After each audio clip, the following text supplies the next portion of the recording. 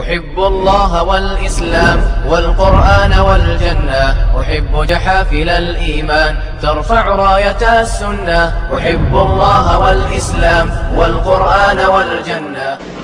فالواجب على طالب العلم أن يتحرى ما سلكه سلكه هذه الأمة من الصحابة وأتباعهم بإحسان وهو بظاهر الكتاب والسنة. والحكم بما دل عليه قولا وعملا وعقيده ولبس ولبس كل ما خالف ذلك.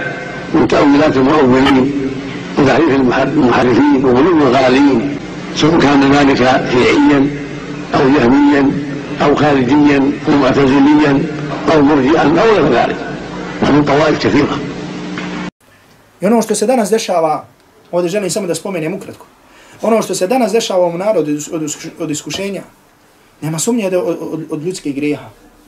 Jer uzvišen Allah tabarak wa ta'ala kaže Zahara al-fasadu fil barri wal bahri bima kesebat aydin nas. Kaže nasto je fesad na zemlji, na kopru i na moru radi onoga što su ljudi učinili. Zatim Allah Đalešanu govori o uništavanjima naroda.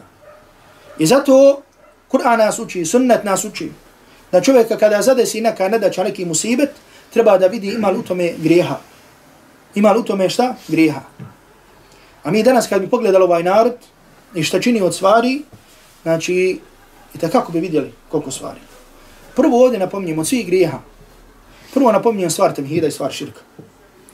Koliko ljudi je usmjereno ka temhidu, to ste koliko ljudi je okrenuo glavu temhida. Da ne kažem koliko ima manifestacija koji se čine, koje se činili ovih mjeseci.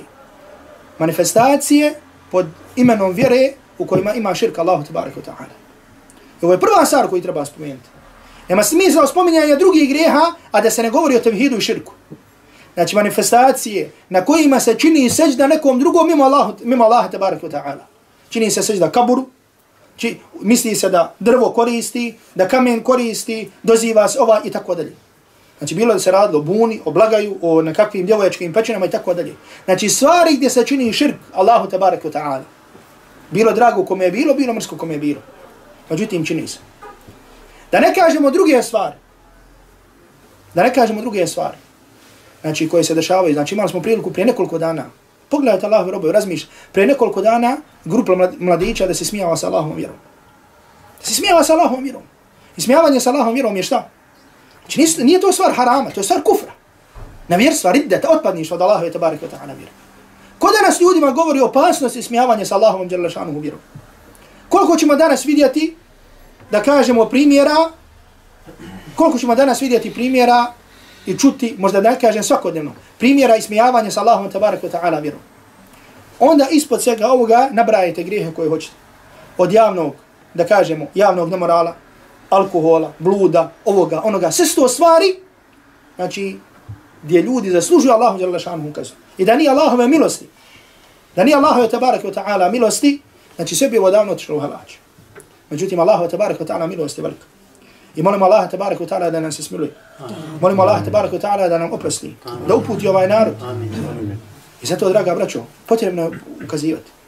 I zato ovdje želim i kažem i vraćam se. Pogledajte poziv Allahovog poslanika, alaihi salatu se. Deset godina ostaje u Mekki pozivajući ljude samo u temhid i upozoravajući ljude na širk.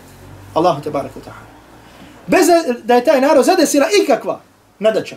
Govorim javno ljudi, doziva imenom, imenom poimenično i doziva ljudi, ostavite to na čemu ste. Jučer ili preključe, brat mi dolazi i pokaziva mi, nisam pročitao ko je napisao, niti me interesuje. Međutim, onaj ko je napisao je džahil neznalica.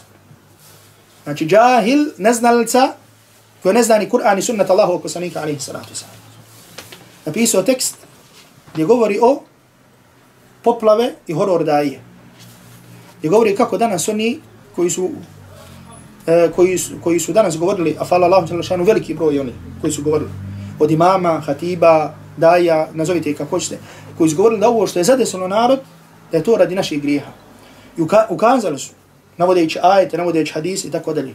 I došlo je neko, da kažem, ko se napravio pametan i kaže, nemojte ljude zastrašivati. Oni koji su to govorili, to su horor daje. Nemojte ljude zastraživati, kaže, treba ljudima pružiti ruku, sigurno, slažimo se, treba ljudima pružiti ruku. Ali kad, kad im pružiš ruku, trebaš mu reći na čemu je.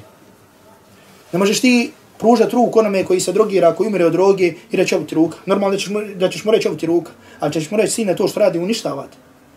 Tako treba mu isto vrijeme ili prija, Treba reći što uništava ovaj narod.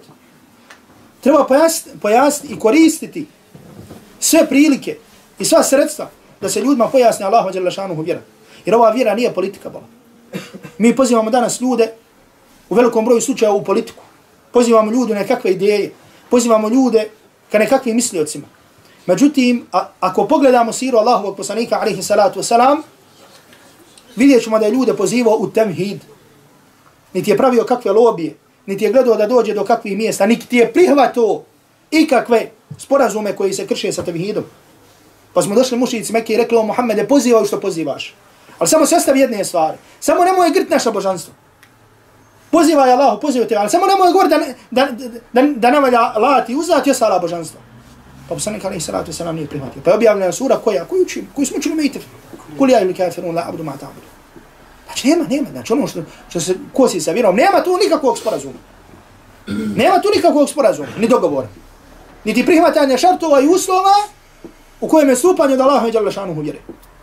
I zato onaj koji je napisao takvu stvar, znači ukazuje na njegov džahl, na poznavanje Kur'ana i sunnata Allahovog poslanika sallallahu alaihi sallam. I žalosno je da biva objavljeno na jednom od zvaničnih port web portala islamski ili muslimanske organizacije na ovim prostorima. Znači, žalosna stvar. Da nemaju ljudi koji će ukazati na to i reći to nije u, nije u redu sa strane Kur'ana i sunnata Allahovog poslanika alaihi sallam. Međutim, šta da kažem? Šta da kažem? Gdje su oni koji ukazuju na one neispravnosti?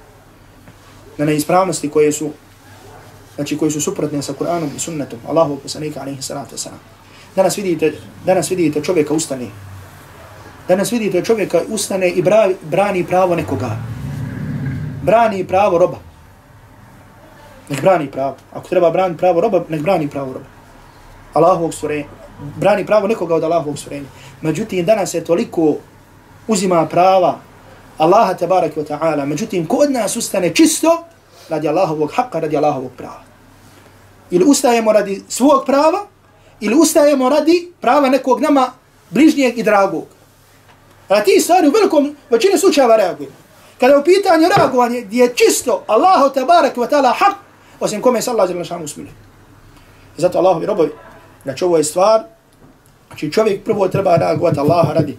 Tamo gdje vidi da se krše Allahu dželle šanu granice, da se oduzima Allahu tebarek wa ta'ala haq, a onda reaguje radi drugih stvari.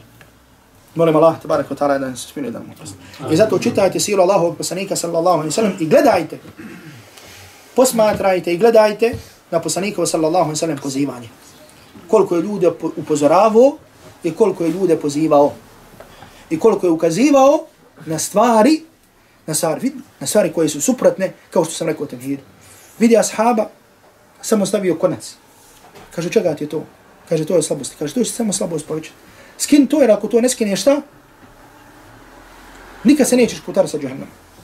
Međutim, danas ljudi, znači, nema, javno da ne čine kakve stvari, kufra i širka, kako reaguje na to? Allah Đelšanu popravi stanje. أنا سلفي على الكتاب والسنة وعلى منهج السلف الصالح